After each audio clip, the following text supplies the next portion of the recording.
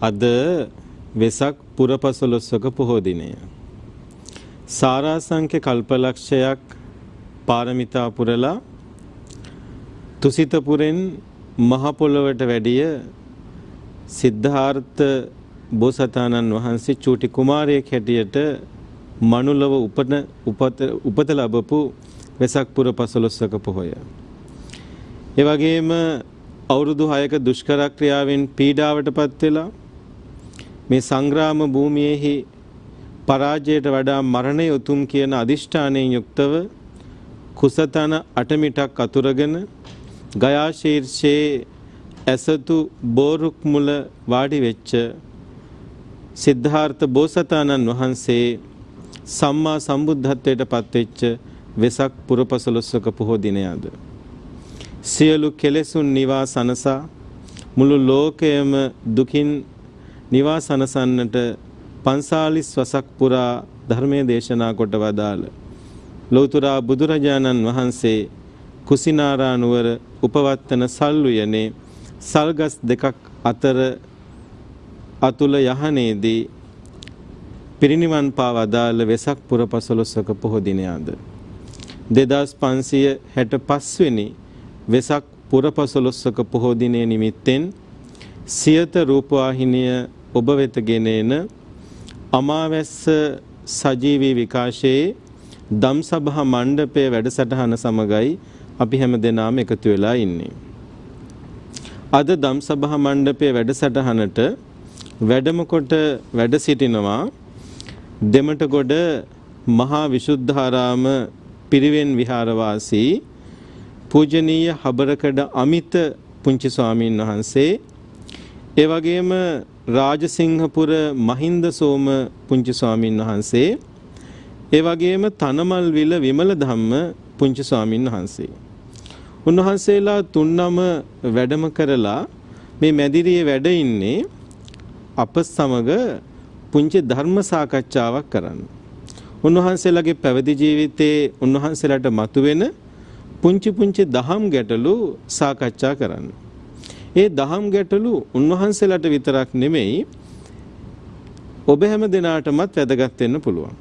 අපි හැමෝටම වැදගත්.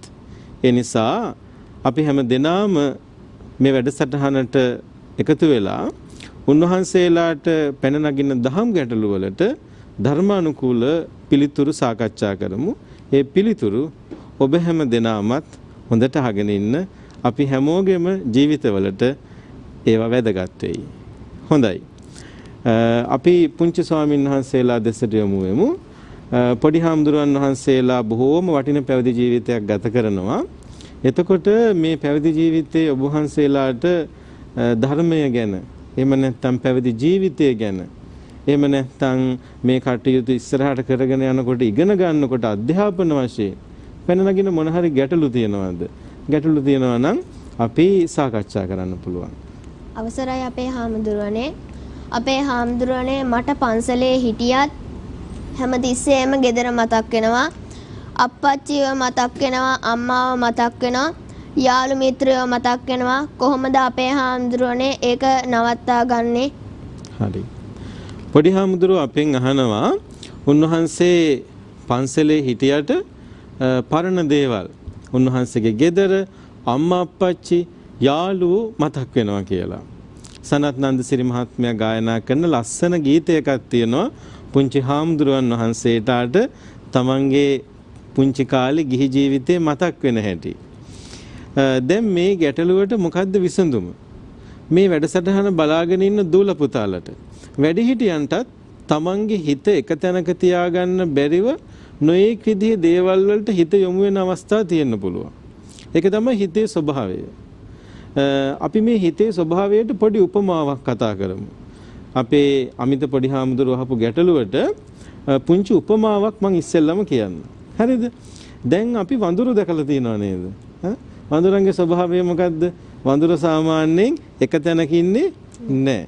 වඳුර හැම වෙලාවෙම අත්ෙන් අත්තට පැන පැන යනවා. ඊට පස්සේ ඔන්න ටිකක් වෙලා එක අත්තක ඉඳලා තව එකකට මාරු වෙනවා. ගහෙන් ගහට පනිනවා. ටිකක් වෙලා බිම දිගේ යනවා. එක විදිහකට ඉන්නෙම නෑ නේද? අපේ හිතේ ස්වභාවය දිහා බැලුවහමත් වඳුරෙක් වගේද නැද්ද? ටිකක් වඳුරෙක් වගේ නේ. අපි කියමු මේ හිතට මේ වඳුරු හිතක්. වඳුරෙක් වගේ හිතක්. හා? මොකද දන්නවද? අපේ හිතේ ස්වභාවය තමයි හැම වෙලේම මොකක් හරි අරමුණක් අරගෙන ඒ අරමුණෙන් අරමුණට මාරු වෙලා යනවා. එක අරමුණක ඉන්නවා ටිකක් වෙලා ඒ අරමුණේ තියෙනවා ආයිත් මාරු වෙලා යනවා. දැන් පාඩම් කරන්න ගියාම සමහර වෙලාවට පාඩම නෙවෙයි වෙන කොහේ හරි තියෙන දුර දෙයක් තමයි මතක් වෙන්නේ. වෙන මොකක් හරි දෙයක් මතක් වෙනවා. හැබැයි ඒ අරමුණේ ගොඩක් වෙලා හිත තියෙන්නේ තව එකකට මාරු වෙනවා. ඕකට ලස්සන ගාථාවක් තියෙනවා ධම්මපදයේ. ධම්මපදයේ පාඩම් කරනකොට මතක තියෙන්නේ නැති මේ ගාථාව. චිත්ත වර්ගයේ හතරවෙනි ගාථාව. ඒකේ තියෙනවා දූරං ගමං ඒකචරං අසරීරං ගුහාසයන් යේ චිත්තං සංඤ මෙස්සන්ති මොක්කන්ති මාර බන්ධනා කියලා බොහෝම ලස්සන ගාථාවක්. මොකද්ද මේ ගාථාවේ තේරුම? දූරං ගමන් දුර ගමන් යන ඒකචරං තනිව හැසිරෙන අසරීරං ශරීරයක් දරන්නේ නැති. ඒ කියන්නේ ඇහැට පේන ශරීරයක් නැහැ. ගුහාසයම් යම් දෙයක් ඇසුරු කරගෙන යම් ආශ්‍රය ආශ්‍රිතයක් ඇසුරු කරගෙන වාසය කරන. යේ චිත්තං සංඤ මිස්සන්ති මේ හිත කවුරු හරි দমনය කරනවා නම් මොක්ඛන්ති මාර බන්ධනා. ඒ හිත দমনය කරන කෙනා මාර බන්ධනෙන් මිදෙනවා කියලා බුදුරජාණන් වහන්සේ වදාරනවා. හරිද? දැන් එතකොට මේ හිතේ ස්වභාවය තමයි ගොඩාක් දුර ගමන් යනවා. දැන් අපි මෙතන හිටියට අපිට පුළුවන් එකපාරටම හිතෙන් අනුරාධපුරේ දිහා මතක් කරගන්න. පොළොන්නරුව ගම ඇලදොල කුඹුරු අම්මා අප්පච්චි මතක් වෙනවා. ඒ කියන්නේ හිත ඉක්මනට දුර ගමන් යනවා නේද? දැන් එතකොට මේක නවත්ත ගන්න මොනවද කරන්න පුළුවන්? මේක නවත්ත ගන්න නම් අපිට පුළුවන් වෙන්න ඕනේ හොඳ අරමුණකට හිත එක්තෙන් කරගන්න. දැන් මේක පොඩි හාමුදුරුවනේ ඔබ වහන්සේට තියෙන ගැටලුවක් විතරක් නෙමෙයි. බුදුහාමුදුරුවන්ගේ කාලෙත් මේ විදිහටම ගැටලුවක් තිබිලා තියෙනවා. ඒ නිසා තමයි මේ ගාථාව උන්වහන්සේ දේශනා කළේ. බුදුරජාණන් වහන්සේ වැඩ ඉන්න කාලේ භාගිනේය සංඝරක්කිත කියන තරුණ ස්වාමීන් වහන්සේ නමක්. ඒත් හැබැයි පොඩි හාමුදුරු කෙනෙක් උන්වහන්සේ ටිකක් තරුණයි. උන්වහන්සේටත් හරියට මතක් වෙනවා නොඑක් දේවල්. උන්වහන්සේ උන්වහන්සේගේ ගුරු හාමුදුරු සංඝරක්කිත කියන මහරහතන් වහන්සේට දවසක් පවන් සලනවලු.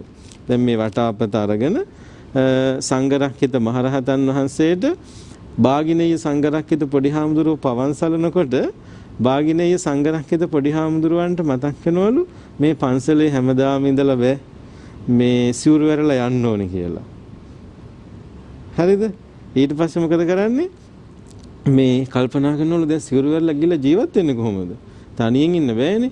මේ මේ සිවුරු ටිකක් එහෙම මොන හරි අරන් ගිහිල්ලා ඒ ටික විකුණලා හරකෙක් ගන්න ඕනේ. ඊට පස්සේ හරකගෙන් කිරි එහෙම හම්බුනහම කිරි විකුණන්න පුළුවන්. පැටව් ලැබුණොත් එහෙම එළදෙනකගෙන් පැටව් විකුණන්න පුළුවන්. ඊට පස්සේ මං කරත්තයක් අරගෙන විවාහයකුත් කරගන්න ඕනේ. බලන්න මේ හිත යන දුර. දැන් මොනා කර කරද ඉන්නේ? මේ වටාපතෙන් පවන් සලසල ඉන්නේ. ඒ වුණාට හිතින් හිතනවා දැන් ගෙදර ගිහිල්ලා විවාහ වෙන්නත් ඕනේ. ඊට පස්සේ හිතනවා විවාහ වෙලා දරුවෝ ලැබිලා ඒ දරුවෝ ටිකක් උස්මහත් වෙනකොට මොනා වුණත් ලොකු හාමුදුරුවනේ ලොකු හාමුදුරුවෝ බලන්න එන්න ඕන. එනකොට මගේ බිරිඳගේ අතින් කරත්තේදි වැරද්දක් වුණොත් එහෙම දරුවෙක්ව වැටුණොත් එහෙම මගේ බිරිඳට හොඳ දෙකක් මං කෙවිතෙන් ගහන්න ඕනේ කියලා දැන් මේ කල්පනා කරලා කරලා කරලා කරලා මොකද කරලා තින්නේ? අත උස්සලා පාරක් හයියෙන් ගැහුවලු අර කල්පනාව නිසා. දැන් ඇත්තටම අතේ මොකද්ද තිබුණේ? වටාපත තිබුණේ කාටද පාර වැදුනේ? ලොකු හාමුදුරුවන්ට. ලොකු හාමුදුරුවෝ රහතන් වහන්සේ නමක්. සංඝරක්කිත මහරහතන් වහන්සේ hina වෙලා ඇව්වලු භාගිනේය සංඝරක්කිත බිරිඳට ගහන්න බැරි නිසාද මට ගැහුවේ කියලා. උන්වහන්සේ ඉරිදියෙන් දැක්කා මේ හිත ගිය දුර. ඊට පස්සේ තමයි මේ ගාථාව වදාළේ. දූරං ගමං ඒකචරං අසරීරං ගුහාසයන් ජේ චිත්තං සංයමෙස්සන්ති මොක්කාන්ති මාර බන්ධන. පොඩි හාමුදුරුවෝ ඒ විදිහට හිත දුවන වෙලාවට හොඳට පුංචි අරමුණකට හිත තැම්පත් කරගන්න. සමහර වෙලාවට විහාරේ බුදු පිළිම වහන්සේ ළඟට ගිහිල්ලා වෙන්න පුළුවන්. බෝමළුවේ බෝපත් සිලිසිලි ගාන නාදයට වෙන්න පුළුවන්. දැන් හෙට වෙසක් පුරපසළොස්වක දවසේ වෙසක් හඳේලිය ගලන රාත්‍රියේ පන්සලේ වැලිමළුවේ හඳේලිය දිහා බලාගෙන වෙන්න පුළුවන්. හිත හොඳට ශාන්ත වෙන තැනකට ගිහිල්ලා හිමීන් සැරේ හිත සංසුන් කරගන්න. පැහැදිලි නේද? ලොකු භාවනාවක්ම නෙමෙයි මේ කියන්නේ. හිත ශාන්ත කරගන්න. හැම තිස්සෙම අරමුණෙන් අරමුණට දුවන හිත එක අරමුණකට තියාගන්න උත්සාහ කරන්න. අන්න එතකොට මොකද වෙන්නේ අපේ හිත පුරුදු වෙනවා පොඩි හාමුදුරුවනේ අර නොයේක් අරමුණු ගොඩකින් සතුටු වෙනවට වඩා එක ශාන්ත අරමුණකින් සතුටු වෙන්න. එක බොහෝම සියුම් අරමුණකින් සතුටු වෙන්න. අන්න එතකොට අපිට පුළුවන්කම තියෙනවා අර අපි අත්හැරලා දාපු අතීතයේ දේවල් මතක් කරගන්නව වෙනුවට මේ අපිට ළඟ තියෙන වර්තමානයේ තියෙන පුංචි දෙයකින් හිත සුවපත් කරගන්න. ඒ දෙයකින් අපේ හිත නිවා ගන්න අපිට පුළුවන්කම තියෙනවා. ඒ නිසා මම හිතනවා ඒ පණිවිඩය මේ වැඩසටහන නරඹන හැම දිනාටමත් වටින පණිවිඩයක් වෙයි. රුවන්වැලි සෑය ළඟට ගිහිල්ලා කලාවේ විවුරට ගිහිල්ලා සමාධි බුදු පිළිම වහන්සේ ළඟට ගිහිල්ලා සිතුල් පව්වේ මහසෑ මුදුනට ගිහිල්ලා අපිට පුළුවන් අපේ හිත සුවපත් කරගන්න, ශාන්ත කරගන්න, සංසුන් කරගන්න. එතකොට වේගයෙන් දුවන අපේ හිත නැවතිලා අපේ හිත සුවපත් වෙන්න පටන් ගන්නවා, ශාන්ත වෙන්න පටන් ගන්නවා, විවේක වෙන්න පටන් ගන්නවා. දැන් අපි තවත් ප්‍රශ්න තියෙනවද කියලා පොඩි හාමුදුරන් වහන්සේලාගෙන් අහලා බලමු. පොඩි හාමුදුරන් වහන්සේලාට පුළුවන් තවත් දහම් ගැටලුවක් හරි වෙන මොනයම් ගැටලුවක් හරි තියෙනවා නම් ඉදිරිපත් කරන්න. අවසරයි අපේ හාමුදුර අපේ අන මම පිළිත් ගාථා සූත්‍ර පාඩම් කරන පාඩම් කරන එවනම් මතක හිටින්නේ නැහැ. හැබැයි මම මතක තියාගන්න උත්සාහ කරනවා. මතක තියාගන්න උත්සාහ කරනවා මතක හිටින්නේ මතක හිටින්නේ නැහැ. පොඩි හාමුදුරුවන්ට මේ පිරිත් ගාථා සූත්‍ර ගොඩාක් පාඩම් කළාට ඒව මතක හිටින්නේ නෑලු. මතක තියාගන්න අමාරුයිලු. පුංචි හාමුදුරන්ගේ වයස කීයද දැන්? 12. 12යි. එතකොට පුංචි හාමුදුරුවන්ගේ අවුරුදු 12 වයසේ පොඩි හාමුදුරුවන්ට විතරක් නෙමෙයි. අවුරුදු 12, 13, 14, 15 වයසේ ඉන්න මේ දූල පුතාලා ඔක්කොටමත් ඒ ප්‍රශ්නේ තියෙනවා. සමහර වෙලාවට පොඩි හාමුදුරුවනේ වැඩිහිටි අපිටත් තියෙනවා. හරි? සමහර වෙලාවට අපිට මතක නෑ මේ තියපු දේ මේ මතක නෑ. පොඩි හාමුදුරුවෝ දන්නවද ඇයි අපිට අමතක වීම වෙන්නේ කියලා?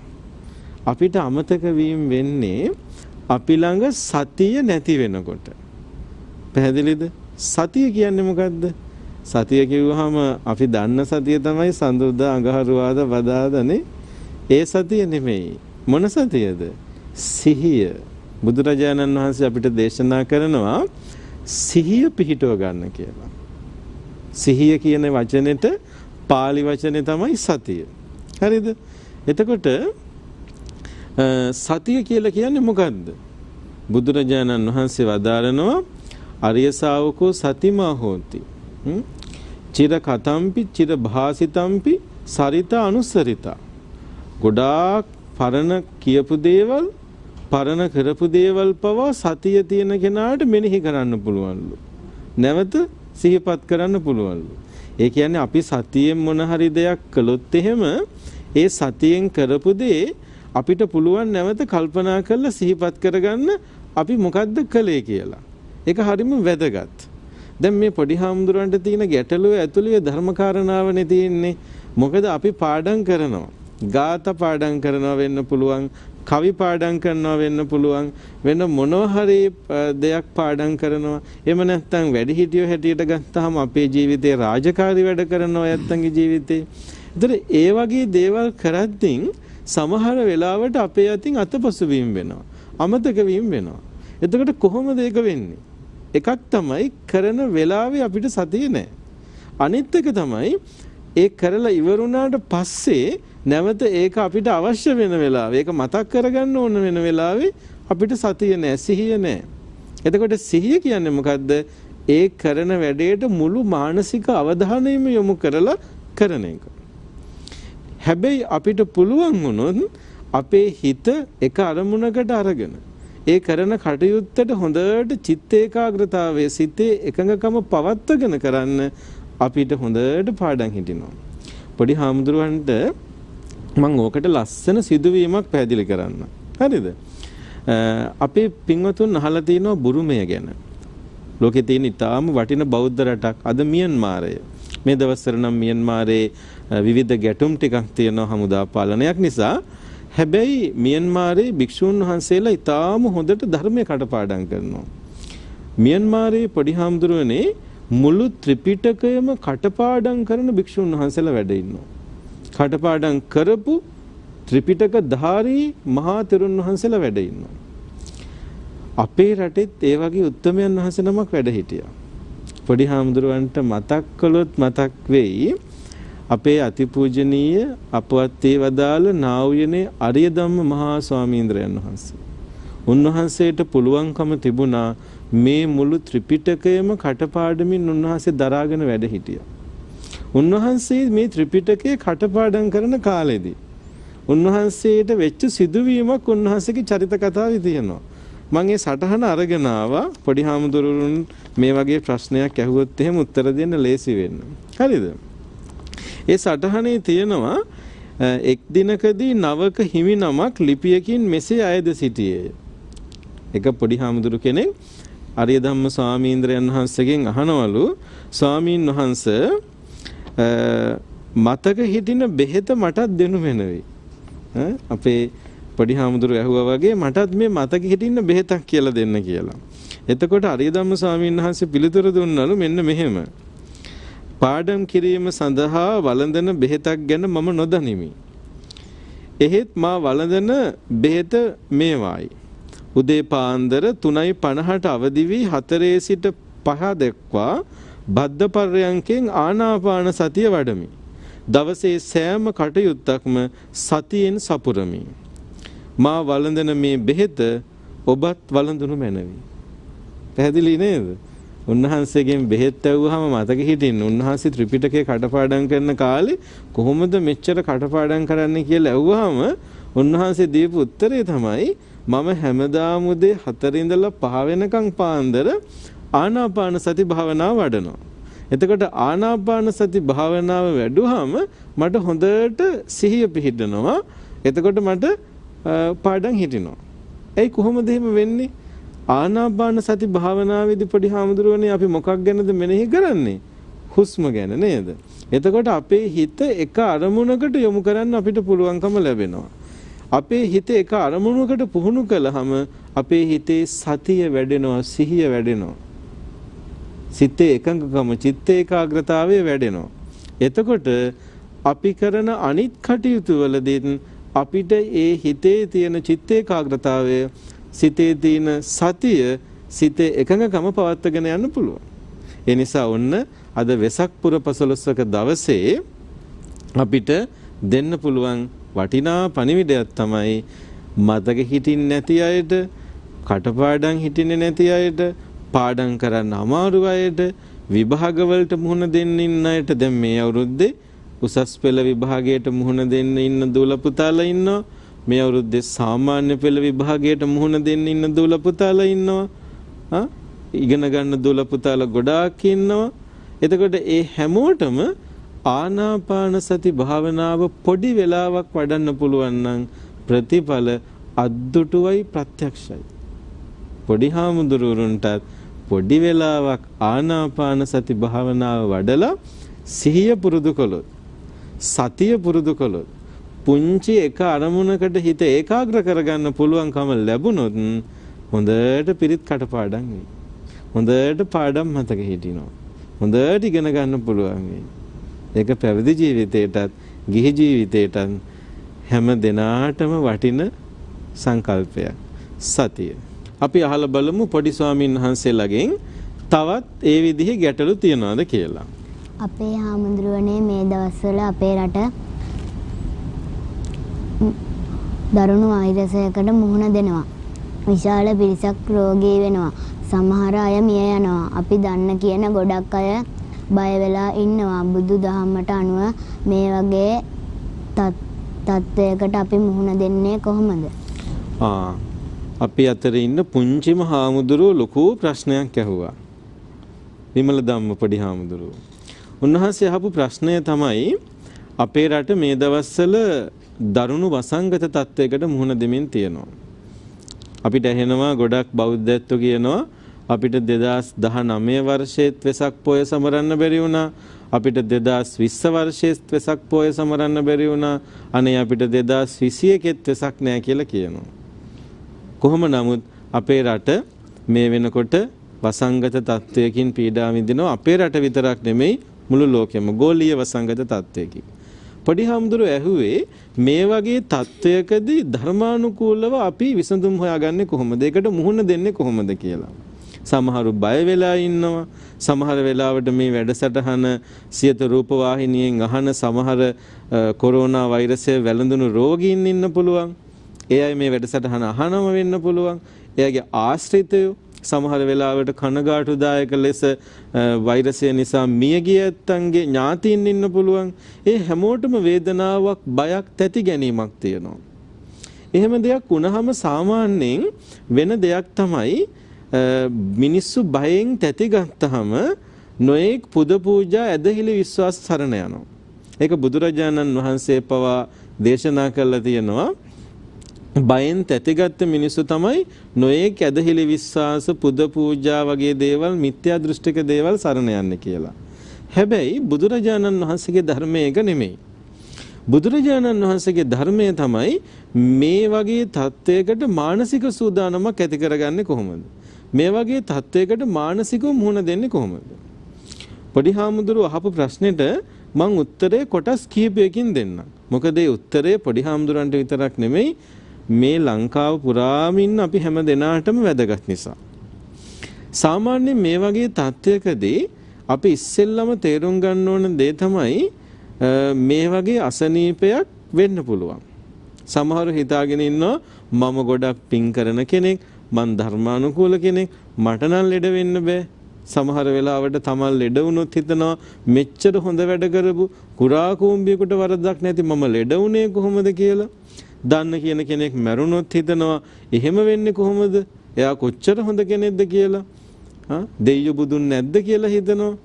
එහෙම හිතන්න හොඳ නැහැ. පළවෙනි දේ තමයි ඕනම රෝග තත්ත්වයකට අපි යටත්. මේ අපේ ශරීරය යටත්. ඒක අපි පිළිගන්න ඕනේ. බුදුරජාණන් වහන්සේත් අදාරනවා අයම්පිකෝ කායෝ ඒවං භාවි ඒවං ධම්මෝ ඒවං අනදීතෝ අපේ ශරීරයේ රෝග වලට යටත් මේ ධර්මතාවලට යටත් මමත් ලෙඩ වෙන්න පුළුවන්. ඒක තේරුම් ගන්න ඕනේ. එතකොට පළවෙනි එක තමයි අපි ලෙඩ වෙන්න පුළුවන් කියන පිළිගැනීම අපිට තියෙන්න ඕනේ. ඒකට අපි ලෑස්ති වෙන්න ඕනේ. ඕනම වෙලාවකදී.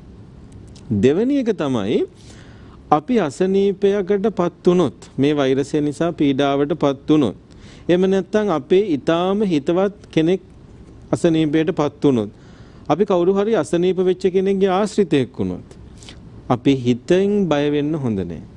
මොනම හේතුවකටවත් අපි අපේ මානසික විශ්වාසය නැති කරගන්න හොඳ නෑ. පැහැදිලිද? එතකොට දෙවෙනි කාරණාව තමයි අපි මොනම හේතුවකින්වත් මානසිකව වැටෙන්න හොඳ නෑ. අපේ උත්සාහය අත්හරින්න හොඳ නෑ. හරිද? බලන්න පොඩි හාමුදුරුවනේ අද වෙසක් පුර පසළොස්වක දවසේ අපිට හොඳ ආදර්ශයක් තියෙනවානේ. අවුරුදු 6ක් දුෂ්කර ක්‍රියා කරලා බෝසතාණන් වහන්සේ කොච්චර පරාජිත කෙනෙක් හැටියටද බෝමැඩ වාඩි වුණේ? මට හැමතිස්සෙම හිතනවා උන්වහන්සේ ඊටාම ලස්සන පිරිපුන් දේහධාරී මිනිසෙක් හැටියට නෙමෙයි වෙන්නේ නැති එදා ගයා ශීර්ෂයේ බෝමැඩ පාමුල කුසතන අටමිටක් අතුරගෙන හිඳගන්න ඇත්තේ. උන්වහන්සේ අවුරුදු 6ක් තිස්සේ දුෂ්කර ක්‍රියා කළා. කුස ගිහිල්ලා පිටපොත්තට ඇලිලා ඇස් දෙක ගිහිල්ලා ලිම්පතුල් දෙකක් වගේ ගිලිලා. උන්වහන්සේගේ කොණ්ඩෙක් කුණු බැඳිලා හැඩබලු ගෙතිලා ශරීරය අවපැහැගෙන්විලා ශරීරේ හැම ගැලවිලා අතට එනවා කියනවා. ඒ තරම් දුෂ්කර ක්‍රියාවක් අවසානයේදීත් උන්වහන්සේට බුද්ධත්වයේ ලැබුණේ නෑ නේද? හැබැයි උන්වහන්සේ උත්සාහය අත්හැරියේ උන්වහන්සේ කල්පනා කළා නෑ මං අවසන් මොහොත වනතුරු මරණය තෙක් බුද්ධත්වයේ පිණිස වූ උත්සාහය අත්හරින්නේ නෑ. උන්වහන්සේ බෝමැඩ ෆාමුල කුසතන අටමිටක් අතුරගෙන වාඩි වෙනවා. උන්වහන්සේ වඩපු ප්‍රතිපදාව වෙනස් කළා මධ්‍යම ප්‍රතිපදාව වඩන්න පටන් ගන්නවා. ආර්ය අෂ්ටාංගික මාර්ගය වඩනවා. සම්මා සමාධිය දියුණු වෙනවා. උන්වහන්සේට විදර්ශනා ඥානෙ උපදිනවා. උන්වහන්සේ එදා රෑ තුන්යම පුරාම කෙලෙස් නසා රෑ තුන්යම අවසානයේදී සම්මා සම්බුද්ධත්වයට පත් වෙනවා. දැන් එතකොට අපි කවදාවත් මේ වගේ தත්වයකදී උත්සාහය අත්හරින්න හොඳ නැහැ. හරිද? ඒ නිසා පළවෙනි දේ තමයි අපේ උත්සාහය අපි පවත්වා ගන්න ඕනේ. ඔන්න අපි දැන් කාරණා දෙකක් කිව්වා. එකක් තමයි අපි ලෙඩ වෙන්න පුළුවන් කියලා පිළිගන්න ඕනේ. දෙවෙනි එක තමයි අපි කිසිසේත්ම මානසිකව වැඩෙන්න හොඳ නැහැ. අපේ උත්සාහය අත්හරින්න හොඳ නැහැ. අපි ධෛර්ය සම්පන්න වෙන්න ඕනේ. කය ලෙඩ වුණාට මනස ලෙඩ කරගන්න හොඳ නැහැ. කය ලෙඩ වුණාට මනස ලෙඩ කරගන්න හොඳ නැහැ. කයේ රෝගය වෛද්‍යවරුන්ට බාර දෙන්න හිත ශක්තිමත් කරගන්න. තුන්වෙනි කාරණාව තමයි ඒක චුට්ටක් විතර ගැඹුරුයි පොඩි හඳුරන්නේ. ඒ තමයි මේ වේදනාවත් එක්ක රෝගයත් එක්ක සටන් කරන්න යන්න හොඳ නැහැ. අනේ මේ ලෙඩේ කොයි වෙලේ සනීප වෙයිද මොන කරුම ලෙඩක්ද පුදුම වේදනාවක් කියලා ලෙඩේ ගැනම හිත හිත පසුතැවෙන්න හොඳ නැහැ. මම ඒක මතක තියාගන්න මෙහෙම කියන්නම්. උත්සාහය අත්හරින්න එපා. හැබැයි රෝගය අත්හරින්න. ආයි කිව්වොත් ඔබේ වීරය ඔබේ උත්සාහය අත්හරින්න එපා. හැබැයි ඔබ රෝගියෙක් නම් ඔබේ රෝගය සම්බන්ධයෙන් තියෙන මානසිකත්වය අත්හැරලා දාන්න. අනේ මම ලෙඩ වෙලා කියලා පසුතැවෙන එක අත්හැරලා දාන්න.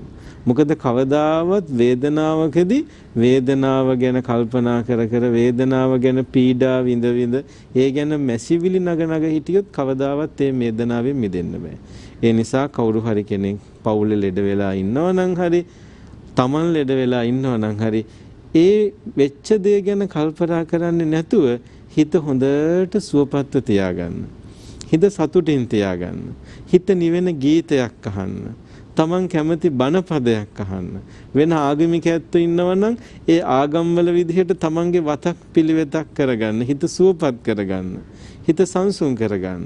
යාළු මිත්‍රයොත් එක්ක සුහදව කතා කරන්න සාමාන්‍ය කෙනෙක් විදිහට. රෝගය ගැන හිතන්න එපා. තුන්වෙනි කාරණාව.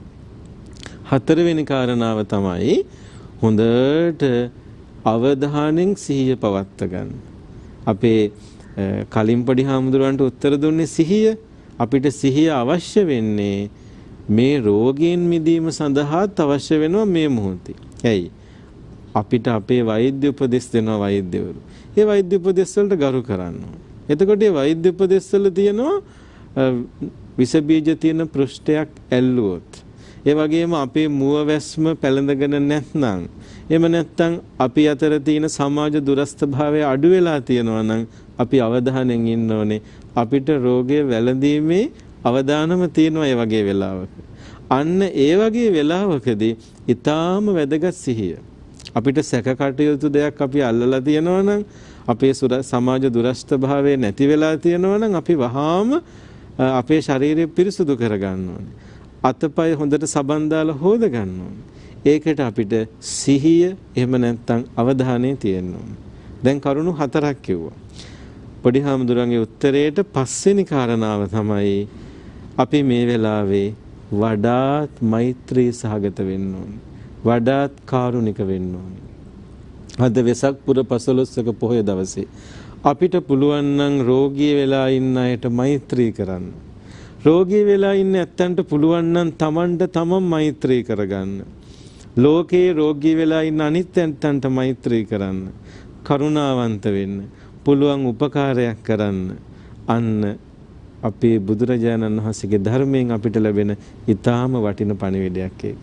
ඒ නිසා පුළුවන් තරම් කරුණාවන්ත වෙන්න, මෛත්‍රී සහගත වෙන්න, තමන්ට තමන් මෛත්‍රී කරන්න, ලෝකයට මෛත්‍රී කරන්න.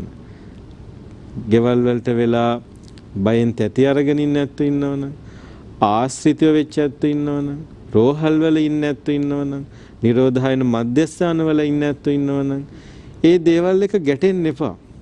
ඒ දින තත්වයන් එක තමන්ගේ හිත හැම වෙලේම නුරුස්නා ස්වභාවයක් උපදව ගන්න එපා.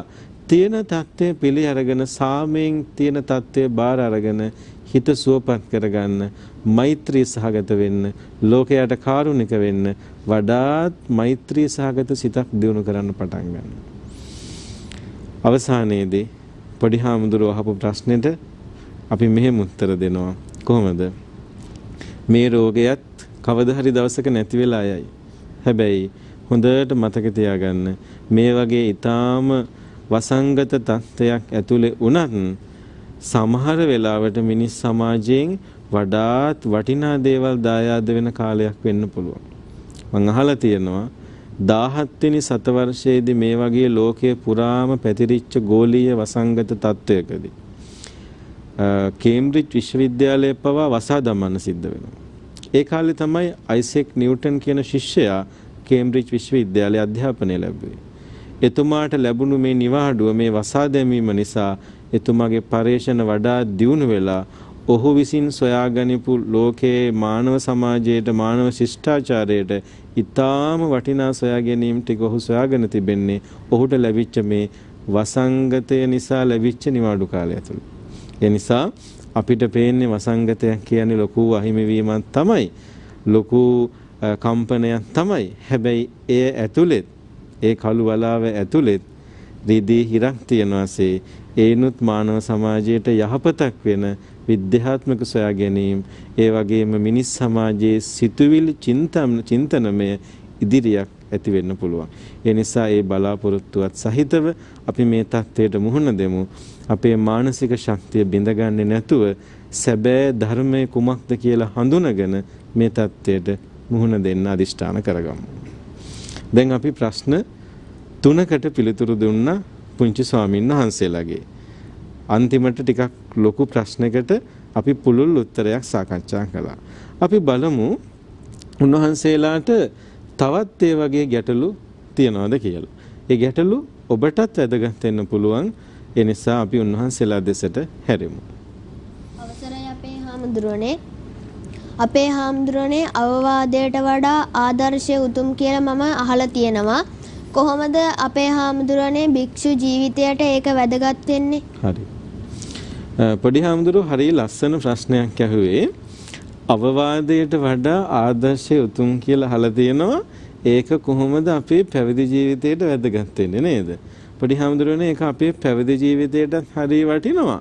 ඒ වගේම මේ වැඩසටහන රූපවාහිනිය තුලින් බලාගෙන ඉන්න දහස් සංඛ්‍යාත ප්‍රේක්ෂකයින්ටත් ඒක ඊටාම වැදගත් වෙනවා.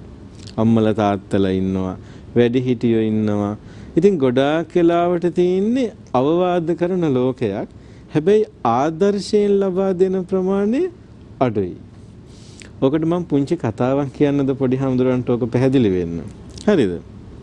ඔන්න එක රාජ්‍යයක රජෙක් ඉන්නවා. හරිද?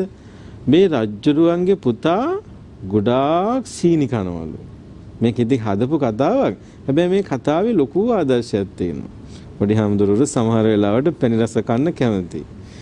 මේ රාජ්‍යයේ රජුරුවන්ගේ පුතත් හරියට පැණි රස කනවලු. සීනි ජාතියේ පැණි රස වර්ග හරියට කන්න බැහැ වෙලාවලු ඉන්නේ.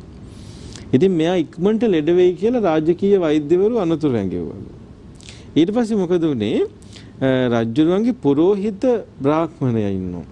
හරිද? ඉතින් රජුරු ඕන දෙයකට ගිහිල්ලා පුරෝහිත බ්‍රාහ්මණතුමාටනේ කියන්නේ. ඉතින් රජුරෝ ගිහිල්ලා පුරෝහිත බ්‍රාහ්මණතුමාට ගිහිල්ලා කිව්වලු පුතාව එකගෙන ගිහිල්ලා පුරෝහිතතුමනි අනේ මගේ මේ පුතා මේ හරියට පැණි රස කන්න බැහැ වෙලා ඉන්නෝ මෙයාට මොන හරි අවවාදයක් කරන්න කියලා. ඉතින් පුරෝහිත බමුණුතුමා මොකද කළේ මේ නිශ්ශබ්දව ඉඳලා කිව්වලු තව දවස් 7කින් ආයෙ එක්කන් එන්න කියලා. හරිද? දැන් රජුරෝ ඉතින් මොකද කළේ උපදේශක් ලැබුණේ නැහැ. කුමාරයාව පුත් කුමාරයාව අරගෙන ආයි මාලිගාවට ආපු හැරිලා ගියා. ගිහිල්ලා ඔන්න දැන් දවස් 7ක් ගෙවිලා ගියා. දවස් 7ක් ගෙවිලා ගියාට පස්සේ ආයෙත් පුරোহিত බමුණුතුමාව හම්බෙන්න යනවා රජුරෝ කාත් එක්කද කුමාරයාත් එක්ක. ගිහිල්ලා ආයෙත් කිව්වලු අනේ ඔබ වහන්සේ හම්බෙන්න ආවේ අර එදා ප්‍රශ්නේමයි අපේ මේ පුත් කුමාරයා පැණි රස කන්න බැහැ වෙලා තියෙනවා ඒක නරක සෞඛ්‍ය පුරුද්දක්. ඒක මේ රාජකීය වෛද්‍යවරු කියනවා මේ අනාගතයේ රාජ්‍ය නායකයා ඉක්මනට ලෙඩ වෙයි. මෙයාට මොකක් හරි අවවාදයක් කළා මේක නවත්තන්න කියලා. පුරোহিত බ්‍රාහ්මණතුමා ඒ පාර කිව්වලු මට දැම්ම මුකුත් කියන්න බෑ තව දවස් 7කින් අරන් එන්න කියලා. දැන් රජුරවංග නිකන් නොසලකා හැරියා වගේ. හරිද? දෙවෙනි වටේටත් අරන් ගියා. ආයි දවස් 7කට පස්සේ ඔන්න ආයි එකන් ආවා. ආයි දවස් 7කට පස්සේ ආයි එකන් ආවට පස්සේ අර විදිහට මැව්වහම මොකද කළේ? අර විදිහටම කිව්වලු තව දවස් 7කින් එකන් එන්න කියලා. රජුරන් ටිකක් කේන්ති ගියලු ඒ පාරන. හැබැයි ඉතින් මොනා කරන්නද?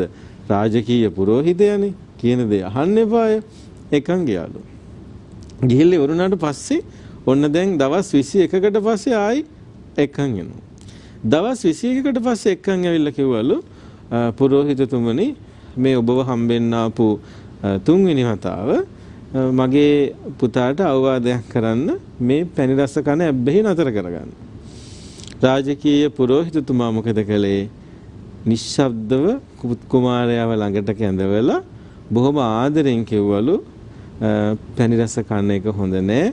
ඔබ වගේ අනාගතයේ රාජ්‍ය බාරගන්න ඉන්න රාජකීය කුමාරයෙක් රෝගියෙක් වුණොත් එහෙම රටවැසියගේ බලාපොරොත්තු බිඳෙන්න පුළුවන්.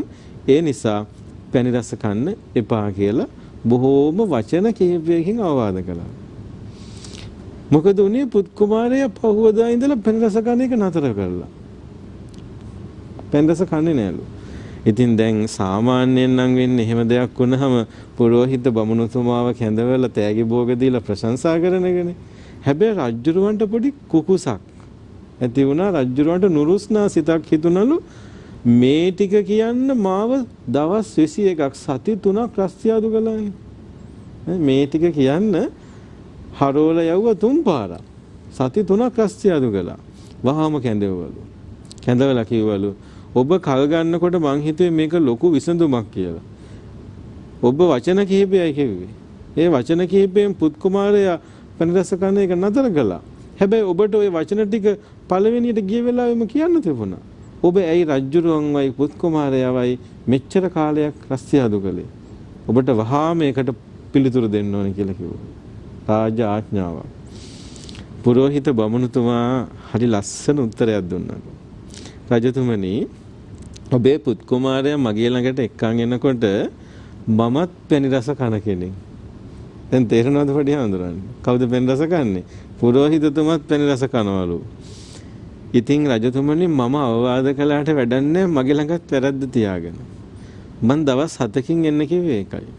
හැබැයි දෙවෙනි වටේට එක්කන් එනකොටත් ඒ පුරුද්ද මට නතර කරගන්න බෑ. නැවත වතාවක් එක්කන් එනකොට තුන්වෙනි වතාවට එක්කන් එනකොටත් මට ඒ පුරුද්ද නතර කරගන්න බෑ. ඒ නිසයි මම වතාවන් තුනක් හරවලා යවලා හතරවෙනි වතාවේ පුත් කුමාරයාව එක්කන් එනකොට මම පැණි රස කන එක නතර කරගෙන තිබුණේ.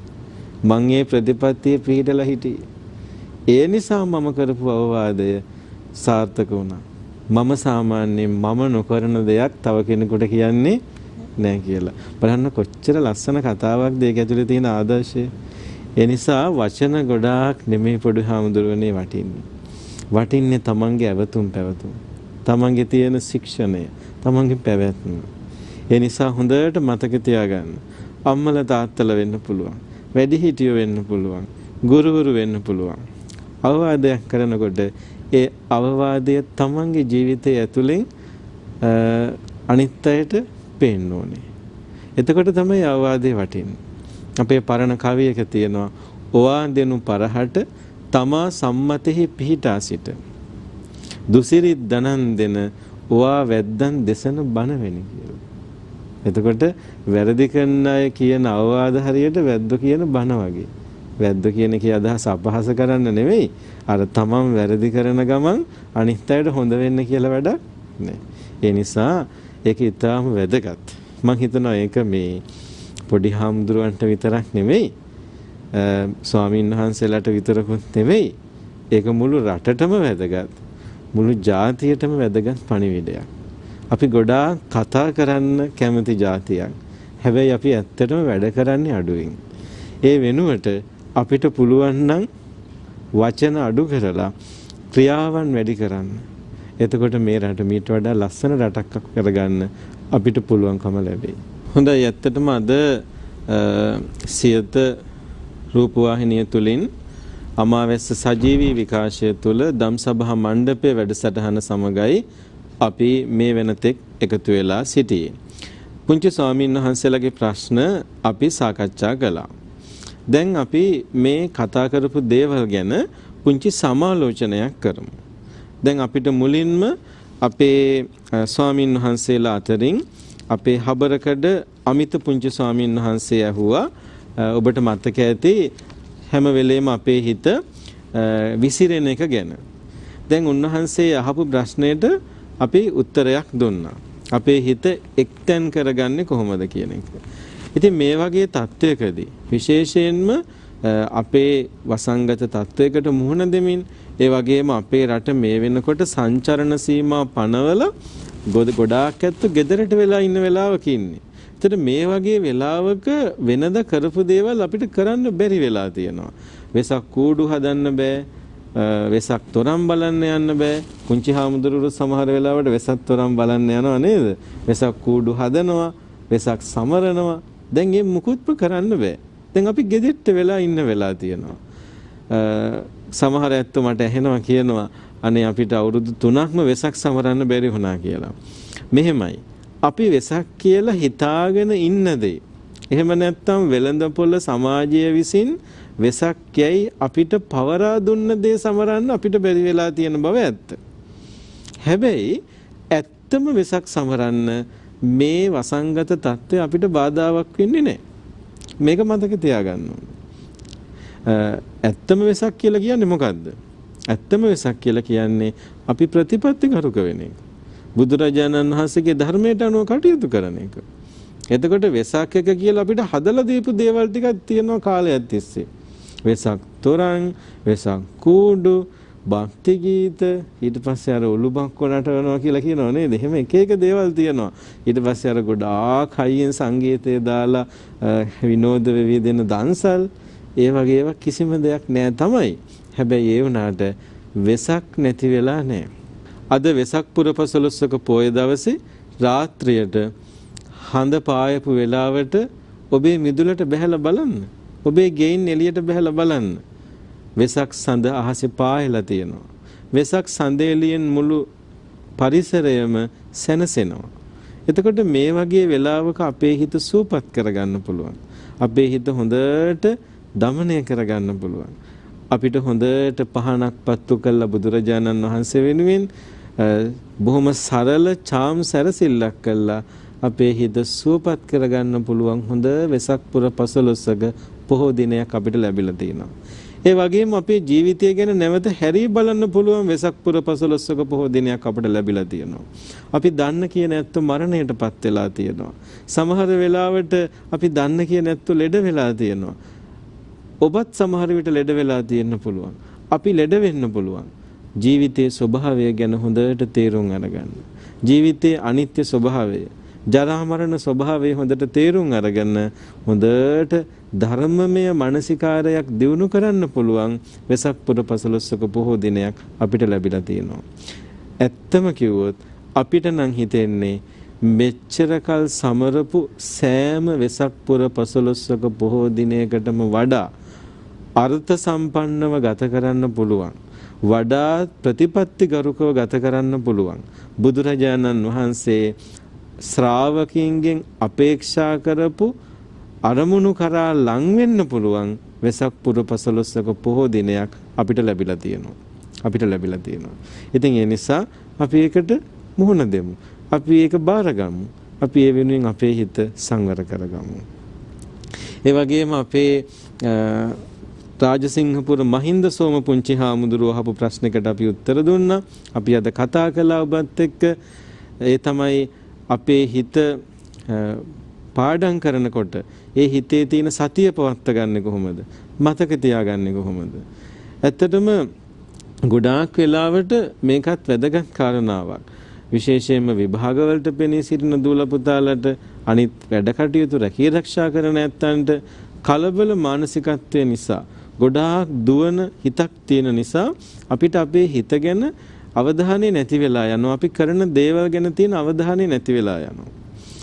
මම පුංචි හාමුදුරන්ට මතක තියාගන්න ඒ වෙලාවේ කියපු නැති පුංචි අලුත් දෙයක් කියන්නම්. දැන් ඔය තෙන්දී අපි කතා කළානේ අපේ හිත සතිය පිහිටව ගන්න ඕනේ කියලා සිහිය පවත්ව ගන්න ඕනේ කියලා. සිහිය කියලා කියන්නේ හිත ඒකාග්‍ර කරන එක. සිහිය පවත්ව ගන්න උදව් වෙන තව කාරණා දෙකක් එක්ක සිහිය හැමතිස්සෙම වැඩ කරනවා. ඒක අපි පොඩි කතාවක් මතකයි නේද? ඉබ්බයි හාවයි ඉස්සර රේස් දුවපු කතාවක් අහලා තියෙනව නේද?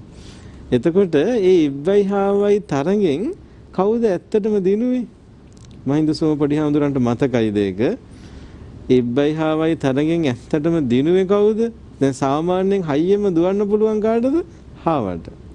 ඒ වුණාට ඇත්තටම ඒ තරගෙන් දිනුවේ කවුද? ඉබ්බා. මොකද උනේ? හාව හයියෙන් පැනගෙන ගියා. හාව හයියෙන් තරඟක ගියාට හාවට අන්තිමට මොකද උනේ? හොඳටම මහන්සි. හාව ඊට පස්සේ මොකද කළේ? පැත්තකට වෙලා නිදාගත්තනේ. ඉබ්බා හැබැයි හයියෙන් ගියේ නෑ. ඉබ්බා හැම වෙලෙම තමන්ගේ වේගෙන් ගියා නේද? ඉබ්බට හති වැටුණාද? නෑ. ඉබ්බා හිමින් හිමින් හිමින් හිමින් අරමුණ කරා ගියා. අරමුණ කරා ගියා. අපේ මේතිරිගල නිස්සරණ වනේ වැඩ ඉන්න උඩු ඉරියගම ධම්මජීව ස්වාමීන් වහන්සේගේ පොතක තියෙනවා ඉබ්බා දිනපු රහස් තුනක් කියලා. පොඩි හාමුදුරන්ට මතක තියාගන්න මම ඒක කියන්න. හරිද? පළවෙනි එක තමයි ඉංග්‍රීසි වචන තුනකින් තියෙන්නේ. හැබැයි සරල වචන තුනක්. පළවෙනි එක තමයි slowly. slowly කියන්නේ මොකද්ද? හෙමින්. ඉබ්බ ගොඩාක් හයියෙන් යන්නේ නෑ. ඉබ්බ තමන්ගේ වේගෙන් තමයි යන්නේ. අපි හැමෝටම මේක හොඳ ආදර්ශයක්. අධික වේගයෙන් මේ අධි පරිභෝජන රටාවෙන් මිදිලා අපිට අපේ වේගය හඳුන ගන්න පුළුවන් නම් අපිට වැඩ කරන්න පුළුවන් ප්‍රමාණය අපිට අඳුන ගන්න පුළුවන් නම් අපි වෙහෙසටපත් නොවන තරම අපිට අඳුන ගන්න පුළුවන් නම් අපිට ඇති වෙන ප්‍රමාණය අපිට අඳුන ගන්න පුළුවන් නම් අපිට මහන්සියක් නැහැ. හැබැයි හව මොකද කළේ? හයියෙන් ගියා හවට මහන්සි. ඉබ්බා ගියේ Tamanට පුළුවන් ගමන ඉබ්බට මහන්සි නැහැ. එතකොට slowly කියලා කියන්නේ හෙමින්. දෙවෙනි වචනේ තමයි mindfully. ඒක නම් ටිකක් විතර අහලා පුරුදු නැති වචනයක් වෙන්න පුළුවන්.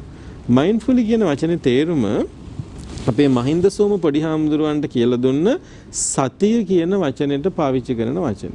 හරිද? එතකොට mindfully කියලා කියන්නේ හොඳට හිතේ අවධානය සිහියෙන් සතියෙන්.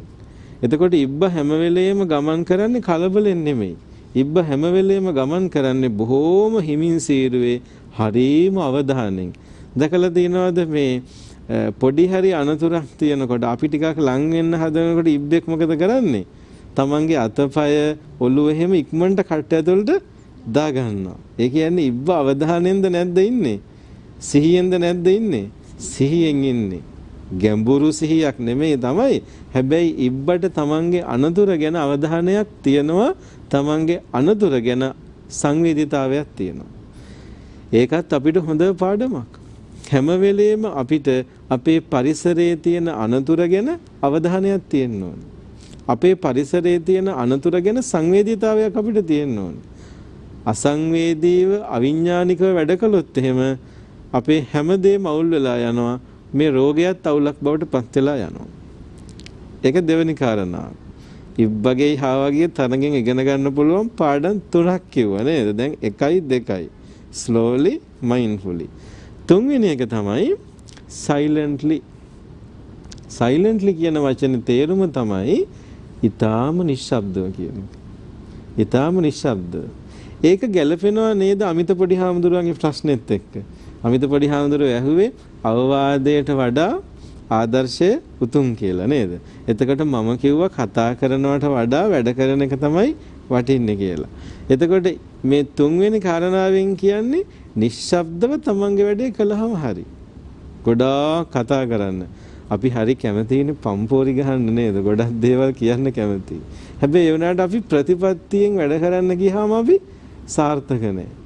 දැන් අපිට පුළුවන් නම් වැඩ කරන්න අපිට පුළුවන් නම් අපේ අපිට අදාළ කාර්ය කරන්න අපිට ගොඩක් දේවල් ජයග්‍රහණය කරන්න පුළුවන්. ඉබ්බ පෙන්වුවේ මොකද්ද? මම දිනනවා මට පුළුවන් කියලා සද්දබද්ද කරන්න ගියේ නෑ. හයි හාව පිම්මේ පැනගෙන ගියා. ඉබ්බ නිශ්ශබ්දව හිමින් සීරුවේ ගියා. හාවට හති ඉබ්බ දිනනවා. වචන තුනයි. slowly, mindfully, silently. ඔක මතක තියාගන්නත් පුළුවන්. S අකුරයි M අකුරයි ආයි S අකුරයි. මොකද්ද වචනේ? SMS. හා එතකොට මේ පණිවිඩය අපි කතා කරපු දේවල් ඇසුරෙන්මයි අපි කතා කරන්නේ.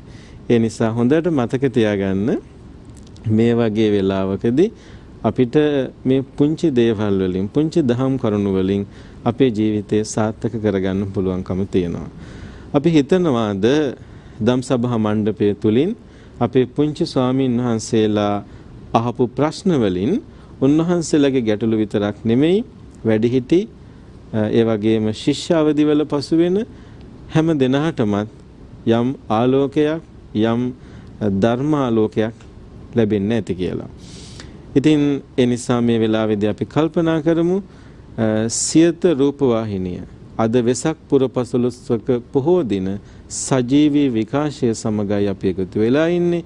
ඒ සජීවී විකාශයේ අමාවැස්ස දහම් දම් සභා මණ්ඩපේ සමාප්තිය කරයි අපි ළඟා වෙමින් පසු වෙන්නේ මේ වෙලාවේදී අපි කතා කරපු කාරණා වලින් අපේ ජීවිත වඩාත් සාර්ථක කරගමු මේ වර්ෂයේ වෙසක් පුර පසළොස්වක පොහෝ දිනය අපිට යම් අභියෝගාත්මක පරිසරයක් ඇතුලේ අභියෝගාත්මක තත්වයක් ඇතුලේ සැමරීමට සිදු වුවත් මේ தත්වයට අපි ශක්තිමත්ව මුහුණ දෙමු.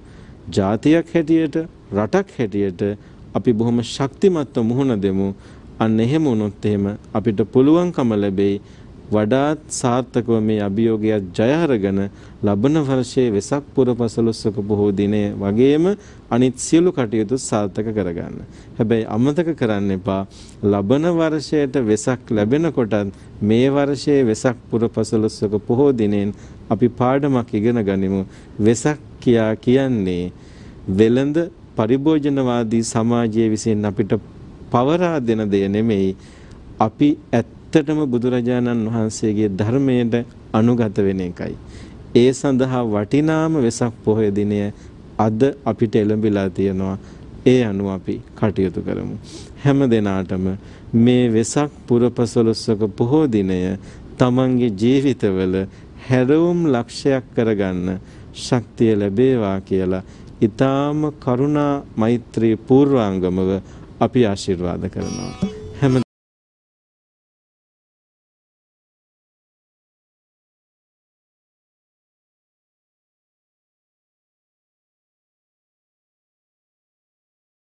දෙනපතා අලුත් වීඩියෝ සහ ප්‍රවෘත්ති නැරඹීමට ඉහත බටන එක කලික් කර සියත TV සබස්ක්‍රයිබ් කරන්න.